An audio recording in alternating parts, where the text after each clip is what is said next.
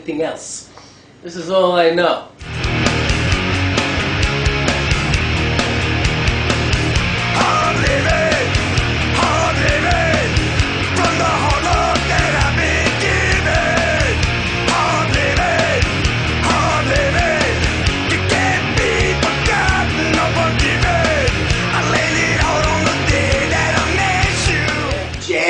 Shot, stabbed,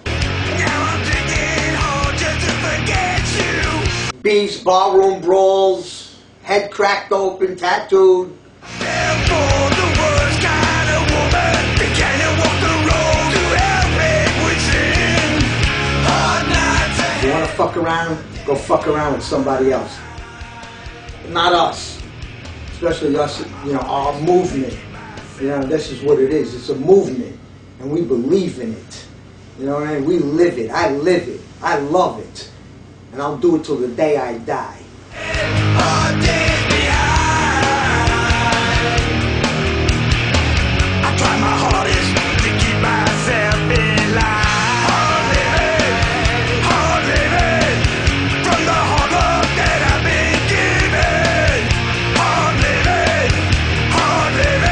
uh, come along for the ride.